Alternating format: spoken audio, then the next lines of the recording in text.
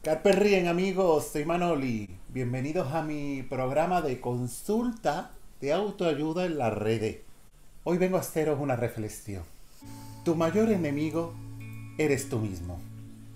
Salvo que vayas por la calle y alguien te tiene una maceta. Entonces no.